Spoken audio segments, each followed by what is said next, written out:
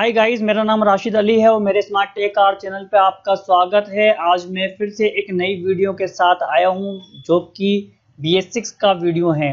Guys मैं सबसे पहले आपको बताना चाहूँगा प्लीज़ मेरे चैनल को सब्सक्राइब कीजिए और लाइक भी कीजिए कमेंट्स भी कीजिए, कि मेरी आने वाली वीडियोस बहुत ही यूज़फुल रहेंगी, जो कि बी एस सिक्स के ऊपर मैं अपना वीडियो बनाने वाला हूँ। बी एस सिक्स में यूज़ होने वाले जितने पार्ट्स हैं, मैं हर पार्ट्स का एक एक वीडियो आपको बनाऊँगा और हर पार्ट्स के बारे में अच्छे से एक्सप्लेन करूँगा। कि यह पार्ट्स किस लिए यूज़ किया गया है। तो गाइज़ जैसे कि आप जानते हैं बी सिक्स गाड़ी मार्च तक कंप्लीटली रोड पे आना शुरू हो जाएगी, लेकिन बी गाड़ियों के कुछ ट्रायल वर्जन रोड पे चल रहे हैं। लेकिन बी गाड़ी देने का रीजन है, सिर्फ़ एक ही, यही रीजन है कि बी जो गाड़ी दी गई है, कि हमारा इन्वायरमेंट ठीक से रह सके। यानी कि इंजन से निकलने वाली जो हार्मफुल गैसेस को कैसे कंट्रोल किया जाता है, वो एक इमिशन वर्जन है, उसको बी में अब आ चुका है। तो पहले आपने देखा होगा बी था, अभी बी एस सीधा ही बी में ये टेक्नोलॉजी यूज़ हो चुकी, हो रही है। तो गाइज़ मैं बताना चाहूँगा कि उसी टेक्नोलॉजी में जो जो पार्ट्स जो यूज़ किए गए हैं बी एस सिक्स के अंदर, ये कोई टेक्नोलॉजी नई टेक्नोलॉजी नहीं है काफ़ी पुरानी टेक्नोलॉजी है। लेकिन जो जो पार्ट्स यूज़ किए गए हैं बी एस सिक्स के अंदर, मैं धीरे धीरे हर एक एक पार्ट्स के वीडियो बनाऊँगा और हर एक एक पार्ट्स के बारे में आपको समझाने की कोशिश करूँगा। जैसे कि आप देख रहे हैं कि फिर भी मैं एक बार कहना चाहूँगा प्लीज़ मेरे चैनल को सब्सक्राइब कीजिए। आने वाली बहुत ही यूजफुल वीडियो रहेगी और हर ब्रांड और हर मॉडल की वीडियो आपको देखने को मिलेगी। चाहे टाटा हो भारत बेंज हो अशोक लीलैंड हो आयशर हो, इन सभी मॉडल्स की वीडियो आपको देखने को मिलेगी बी एस सिक्स में। और क्या टेक्नोलॉजी यूज़ की गई है, उस टेक्नोलॉजी से बेनिफिट क्या है, वो टेक्नोलॉजी में इश्यूज़ आते हैं प्रॉब्लम्स आती है तो कैसे रिजोल्व करना है? बेसिकली ये मेरी जो वीडियो वो टेक्निकली वीडियो है। तो चलिए हम स्टार्ट करते हैं। तो मैं बताना चाहूँगा, सबसे पहले आपको बताना चाहूँगा कि इंजन, ये मैंने साइड में बनाया है एक इंजन। इंजन से निकलने वाला जो गैसेज, ये साइलेंसर है। साइलेंसर इस तरीके का आपको देखने को मिलेगा डीओसी डीपीएफ एससीआर और एस एएससी ये तीन तरीके, ये चार तरीके के साइल जिसको बोलते हैं कैटकॉन कैटेलिटिक कन्वर्टर, इसमें लगे हुए हैं, जो कि डीप, जो कि इंजन से निकलने वाली हार्मफुल गैसेस को कंट्रोल किया जाए। इन के थ्रू कुछ टेक्नोलॉजी और भी यूज़ की गई है, जिसकी मदद से हम इन सब पूरा सर्किट को लेके इमिशंस को कंट्रोल कर रहे हैं। तो सिर्फ़ मैं ज़्यादा डिटेल्स में बात नहीं करूँगा, सिर्फ़ मैं इतना आज हम जो बात करेंगे सिर्फ़ वो एचसी यानी कि हाइड्रोकार्बन इंजेक्शन यानी कि मीटरिंग यूनिट की हम बात करेंगे, जो कि रीजनरेशन के लिए यूज़ किया गया है।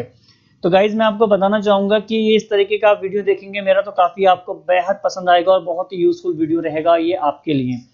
इंजन से निकलने वाली जो हार्मफुल गैसेस होती है, यानी कि मैं आपको अगर बात करूँ तो जो इंजन से बिना जला हुआ जो डीजल है, वो क्या होता है? डीपीएफ ये डीजल पार्टिकल फ़िल्टर डीपीएफ में आके जमा हो जाता है।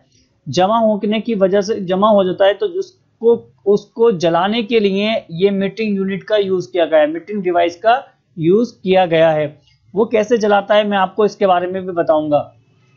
जब हमारी गाड़ी स्टार्ट होती है और सूट सूट हैश ज़्यादा जमा हो जाता है, यानी कि डीजल के जो पार्टिकल्स होते हैं, वो इसमें जमा हो जाते हैं हैश और डीजल के पार्टिकल डीपीएफ में जमा हो जाते हैं तो इसमें जमा होने की वजह से क्या होता है कि ये डेल्टा प्रेशर सेंसर के थ्रू सिग्नल मिलता है और सिग्नल के थ्रू ये मीटिंग यूनिट डिवाइस काम करना शुरू करती है। तो मैं इसमें ज़्यादा डिटेल्स में बात नहीं करूँगा, सिर्फ़ मैं इतना समझाऊँगा कि ये एक मीटिंग डिवाइस इसमें लगी हुई है बी एस सिक्स मॉडल्स के अंदर ये डिवाइसें लगी हुई आ रही हैं। और मैं इसी के बारे में आपको अच्छे से बताना चाहूँगा कि ये मीटिंग डिवाइस किस तरीके से काम करती है।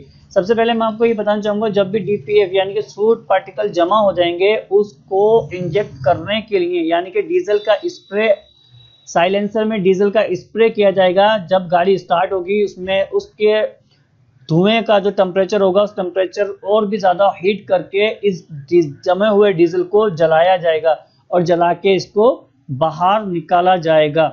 यहाँ से ये बाहर निकलेगा।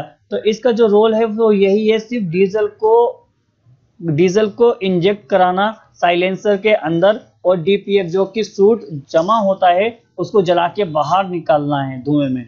तो यानी कि हार्मफुल गैसेस को कंट्रोल करने के लिए भी ये भी मदद करता है। लेकिन साथ में इसमें यूरिया है एड ब्लू भी साथ में दिया है, लेकिन हम उसके बारे में भी बात नहीं करेंगे। हम सिर्फ़ बात करेंगे हाइड्रोकार्बन यानी कि एच यूनिट यानी कि मीटरिंग डिवाइस जो यूज़ की गई है, वो इसका काम क्या है? उसका सिर्फ़ इतना ही काम है कि जो डीपीएफ में सूट जमा हो जाता है, उसको इंजेक्ट करा के, धुएँ में इंजेक्ट करा के जलाता है और जलाने के बाद वापस बाहर निकल जाता है, जिससे कि हार्मफुल गैसेस कंट्रोल हो जाती हैं। तो मैं बताना चाहूँगा, आप ये इधर देख रहे हैं, साइड में आके देख सकते हैं।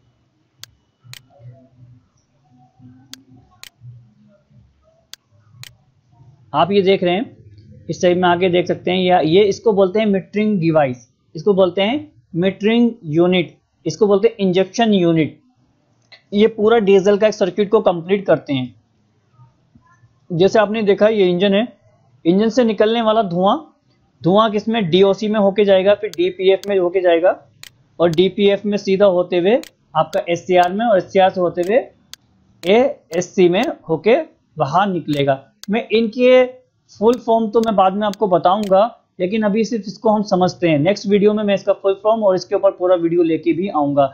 निकलने वाला, यहाँ से निकलने वाला जो धुआँ है, यहाँ से निकलने वाला जो हार्मफुल गैसेज हैं, सिर्फ़ डीपीएफ इसका जो काम है, उसका सिर्फ़ यही काम है कि जो पार्टिकल जमा हो जाएँगे सूट जमा हो जाएगा, उस सूट को डीजल का इंजेक्शन कराएँगे जो धुआँ निकल रहा है, उसके अंदर इंजेक्शन कराएँगे, उसके टेम्परेचर को और भी ज़्यादा हीट करके और जो इसके अंदर डीजल जमा हुआ है, उसको बाहर निकालना है। चले को जला के बाहर उसको निकालना होता है।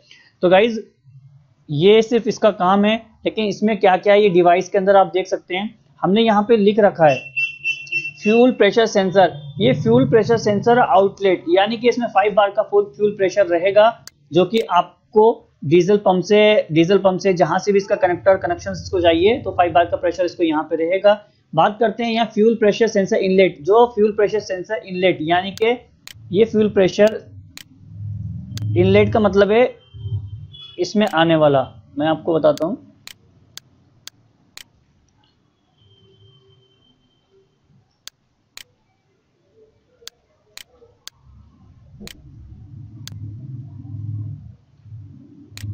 ये देख रहे हैं आप?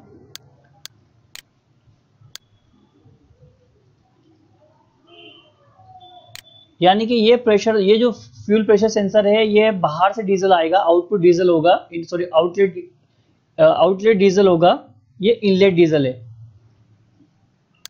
वन सेकेंड ओके ठीक है।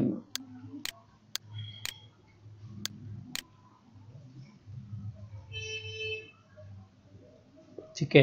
एक्चुअली मैं बता, दोबारा बताना चाहूँगा, थोड़ा सा मिस्टेक हो गई है। ये वाला जो सेंसर है, ये सेंसर अपना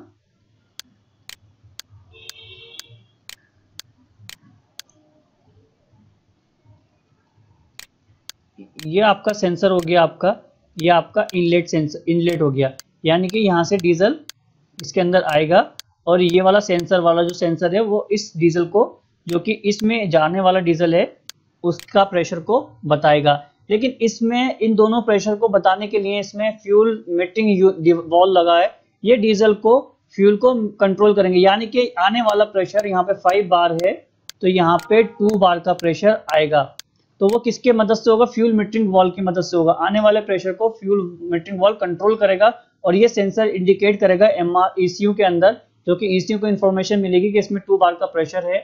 इससे यहाँ पे ये इंजेक्ट करेगा साइलेंसर में। ये साइलेंसर के में लगा होगा एग्जॉस्ट फ्लैप के पास में या जहाँ पर भी इसका सिचुएशन होगा। अलग अलग टेक्नोलॉजी जो जो कंपनियों ने जिस, जैसी जैसी टेक्नोलॉजी यूज़ की है, लेकिन लगना ये साइलेंसर में है ताकि इसमें साइलेंसर से निकलने वाले धुएँ पे इसका स्प्रे किया जाए डीजल का स्प्रे किया जाए।